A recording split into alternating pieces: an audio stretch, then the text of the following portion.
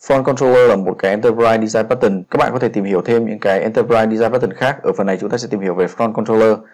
Front Controller các bạn có thể hiểu như nó là một cái handle, một cái single handler và có thể adapt vào tất cả những cái request được gửi đến cho ứng dụng. Tức là giả sử như khi các bạn có rất nhiều request khác nhau thì nó đều phải đi qua cái Front Controller này. Cái concept về Front Controller có thể sử dụng được trong web hay là desktop application. Tuy nhiên các bạn sẽ chủ yếu đọc được Front Controller liên quan đến web application mà thôi.